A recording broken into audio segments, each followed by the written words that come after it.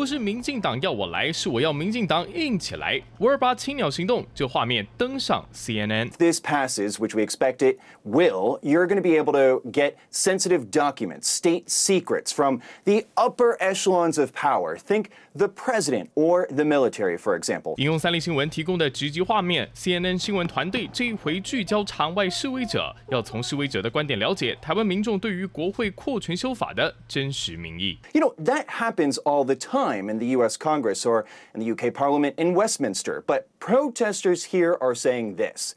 The parties that want this, the Kuomintang and the Taiwan People's Party, are both favoring closer ties to China. 透过西方政治观点剖析台湾民众的深切担忧。如果以后 the process does not reflect our democratic value. I will slowly lose my trust in Taiwan's democracy. Both Kuomintang and Taiwan People's Party are secretly supported by the Communist Party. This is why they create chaos in our parliament. Our parliament does not need reform into what they proposed. I think China is the one needing reform. Why do they have to meddle with us when they themselves do not have a democratic system? 从中午十二点开始，CNN 几乎每个小时引用三立画面报道立法院最新动态。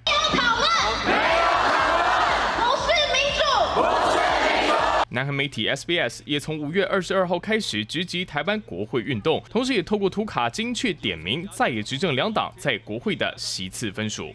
立法院激烈议事声量之大，吸引国际瞩目。三立新闻动报道。